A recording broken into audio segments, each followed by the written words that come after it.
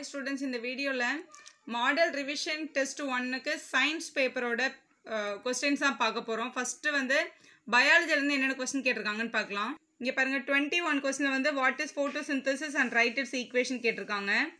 அப்புறம் four mark கொஸ்டினில் thirty first கொஸ்டினில் write any two stages of aerobic respiration கேட்டிருக்காங்க. அது எப்படி எழுதுறதுன்னு இப்போ பார்க்கலாம். ஃபஸ்ட்டு கொஸ்டின் பாருங்கள் ஃபோட்டோ ஃபோட்டோசிந்தசிஸ் ஃபோட்டோசிந்தசிஸில் ஃபோட்டோ அப்படின்னா லைட்டுன்னு அர்த்தம் சிந்தசிஸ்னால் டு பில்ட்டுன்னு அர்த்தம். Photosynthesis process by which autotrophic organism autotrophic ஆர்கனிசம்னா தன் உணவை தானே தயாரிச்சுக்கிறதுன்னு அர்த்தம். தன் உணவை தானே தயாரிச்சுக்கிறதுனா க்ரீன் பிளான்ஸ் பச்சை மரங்கள்லாம் வந்து தன்னோட உணவை தானே தான் தயாரிச்சுக்குது. எதை யூஸ் பண்ணினா சன்லைட் யூஸ் பண்ணி. ஸோ அதான் இங்கே சொல்லியிருக்காங்க. Autotrophic organism like green plants algae chlorophyll containing bacteria utilize the energy from the sunlight to synthesis their own food. அவங்களோட உணவை அவங்களே இது பண்ணிக்கிறாங்கன்னு சொல்லியிருக்காங்க. இந்த ப்ராசஸில் என்ன நடக்குது? In this process carbon dioxide combine with the water இந்த ப்ரெசன்ஸ் ஆஃப் சன்லைட் சன்லைட் இருக்கும்போது கார்பன் டை ஆக் நம்ம மூச்சு விடும்போது கார்பன் டை ஆக்சைடு வெளியே வரும்ல அந்த கார்பன் டை ஆக்சைடையும் வாட்டரும் சன்லைட் இருக்கும்போது குளோரோஃபில் சேர்த்து அதை வந்து கார்போஹைட்ரேட் பண்ணிடுது. During the process oxygen is released as a byproduct அதனால தான் வந்து மரத்துலேருந்து வெளிவரது வந்து ஆக்சிஜன் அது வந்து நம்ம உடம்புக்கு எடுத்துக்கிறோம் நம்ம. ஸோ இதுதான் நடக்குது ஃபோட்டோசிந்தசிஸில் அதோட ஈக்குவேஷனும் எழுத சொல்லியிருக்காங்க. ஈக்குவேஷன் எப்படி எழுதுறதுன்னு பாருங்கள் six C O two plus twelve H two O H டூஓனா தண்ணி.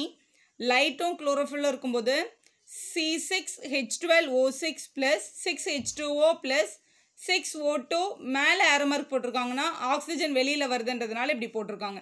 ஸோ இது வந்து கார்பன் டை ஆக்சைடு இது வந்து வாட்டர் ப்ரெசன்ஸ் ஆஃப் சன்லைட் இருக்கும்போது அது என்னவா மாறுதுன்னா குளுக்கோஸ் ப்ளஸ் வாட்டர் ப்ளஸ் ஆக்சிஜனாக மாறுது அப்படின்னு சொல்லியிருக்காங்க. ஸோ இது வரைக்கும் நீங்கள் எழுதணும். ஃபோட்டோசிந்தஸ் கேட்டாங்கன்னா. லாஸ்ட் கொஸ்டினில் what are the factors of affecting ஃபோட்டோசிந்தசிஸ்ன்ற கொஸ்டினும் இருக்குது ஸோ இதை பார்த்துடலாம். ஃபஸ்ட்டு ஃபேக்டர்ஸ் அஃபெக்டிங் ஃபோட்டோசிந்தசிஸ் கேட்டாங்கன்னா ரெண்டு ஃபேக்டர்ஸ் இருக்குது இன்டர்னல் ஃபேக்டர்ஸாகவும் இருக்கும் எக்ஸ்டர்னல் ஃபேக்டர்ஸாகவும் இருக்கலாம். இன்டர்னல் ஃபேக்டர்ஸில் pigments லீஃபோட age accumulation of carbohydrates hormones அதான் இன்டர்னல் ஃபேக்டர்ஸ் எக்ஸ்டர்னல் ஃபேக்டர்ஸ்னு பார்க்கும்போது light carbon dioxide temperature water mineral elements வெளியிலேருந்து கிடைக்க வேண்டியது இல்லைனாலும் ஃபோட்டோசிந்தசிஸ் அஃபெக்ட் ஆகும். ஸோ இதுதான் உங்களோட கரெக்ட் ஆன்சர் நெக்ஸ்ட் வந்து அரபிக் ரெஸ்பிரேஷனோட ரெண்டு ஸ்டேஜ் எழுத சொல்லியிருக்காங்க.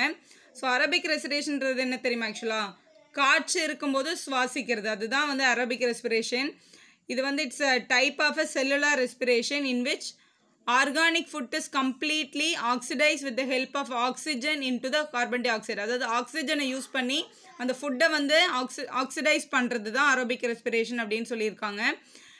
வாட்டர் அண்ட் ஆக்சிடைஸ் பண்ணி கார்பன் டை ஆக்சைடு வாட்டர் எனர்ஜியாக ஸ்ப்ளிட் பண்ணிடும். காற்று இருக்கும்போது மட்டும்தான் இது நடக்கும். It occurs in the most plants and animals இது மேக்ஸிமம் எதில் நடக்குதுன்னா பிளான்ஸ்லேயும் அனிமல்ஸ்லேயும் நடக்குது அப்படின்னு சொல்லியிருக்காங்க. இது வந்து அதோட basic equation C six H twelve O six plus six O two இது என்னவாகுதுன்னா six CO two plus six H two O plus ஏடிபியாக change ஆகுது. இது மூணாக கன்வெர்ட் ஆகுது. எப்போ அப்படின்னா அரபிக் ரெஸ்பிரேஷன் அப்போ. அதோட ஸ்டேஜஸ் பார்க்கலாம். ஃபஸ்ட்டு ஸ்டேஜ் வந்து கிளைக்காலிசிஸ் கிளைக்காலிசிஸ்னால் என்ன தெரியுமா? குளுக்கோஸ் வந்து ஸ்ப்ளிட் ஆகுது அப்படின்னு அர்த்தம். ஒரு பெரிய குளுக்கோஸ் இருக்குது அவங்கக்கிட்ட ஒரு ஒரு ஒன் மாலிக்குள்ள அது வந்து ரெண்டாக ஸ்ப்ளிட் ஆக போகுது. ரெண்டாக என்னவா ஸ்ப்ளிட் ஆக போகுதுன்னா பைரவிக் ஆசிடாக ஸ்ப்ளிட் ஆக போகுது. அப்போ அது ஒன்று ஒன்றுத்துலேயும் மூணு மூணு கார்பன் இருக்கும். ஒரு சிக்ஸ் கார்பன் இருக்க ஒரு பெரிய மாலிகுல் வந்து ரெண்டாக ஸ்ப்ளிட் ஆகி ரெண்டு த்ரீ த்ரீ கார்பன்ஸாக சேஞ்ச் ஆகுறது தான் வந்து கிளைக்காலிசிஸ் அதான் இங்கே சொல்லியிருக்காங்க.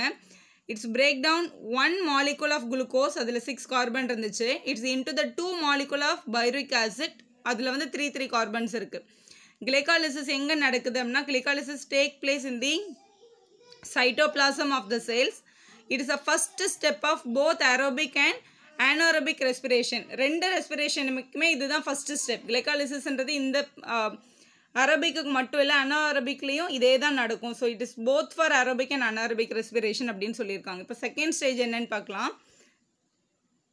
செகண்ட் ஸ்டேஜ் வந்து கிரப் சைக்கிள் இதில் என்ன ஆகுது அப்படின்னா இப்போ இது வந்து ரெண்டாக ஸ்ப்ளிட் ஆகிடுச்சு ரெண்டாக ஸ்ப்ளிட் ஆன அந்த பைரோக் ஆசிட் வந்து என்ன ஆகுதுன்னு பார்க்கலாம். இந்த சைக்கிள் வந்து எங்கே நடக்குதுன்னா மைக்ரோ கான்ட்ரியாவில் தான் நடக்குது. அந்த ஸ்ப்ளிட் ஆன அந்த ரெண்டு பைரோயிக் ஆசிட் வந்து மைக்ரோ கான்ட்ரியாவில் போயிட்டு ஆக்சிடைஸ் ஆக போகுது. அதுதான் வந்து க்ரெப் சைக்கிள் அதுதான் இங்கே எழுதியிருக்காங்க.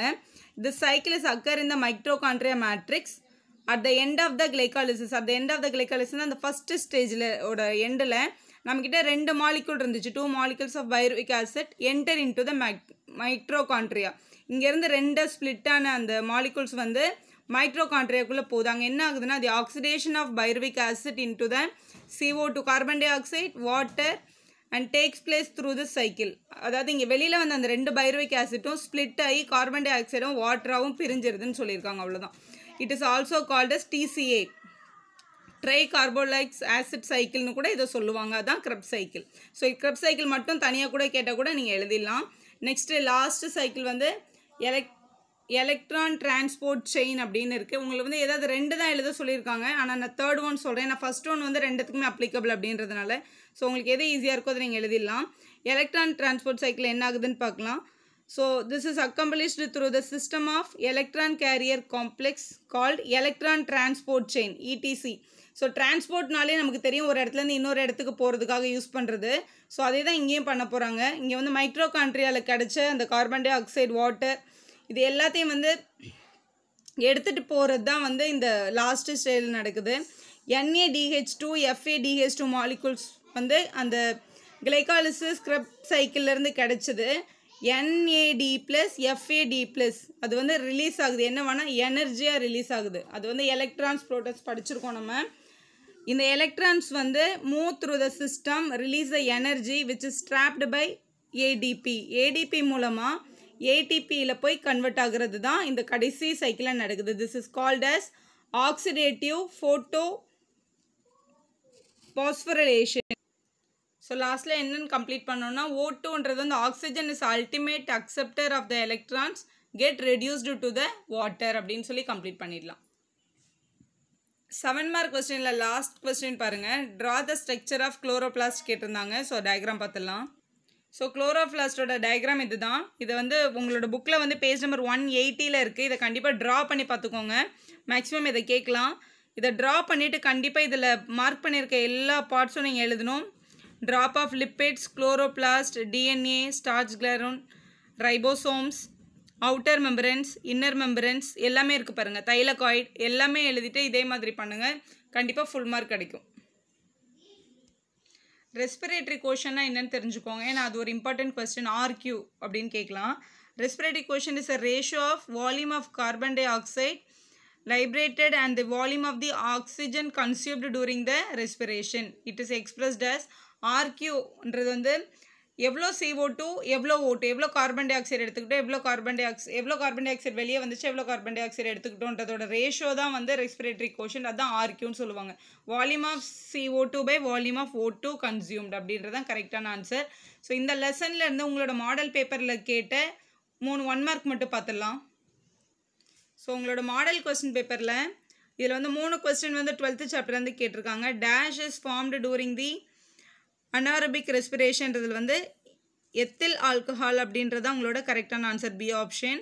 Second Casparian strips are present in dash of the root அப்படின்னு கேட்டிருக்காங்க. அதுக்கு வந்து எண்டோடெர்மிஸ் அப்படின்ற டி ஆப்ஷன் தான் correct last Krebs cycle take பிளேஸ்ன்னு இது இப்போ தான் நம்ம பார்த்தோம். அரபிக்கில் second stage it takes place in mitochondria matrix அப்படின்றது தான் உங்களோட கரெக்டான ஆன்சர்.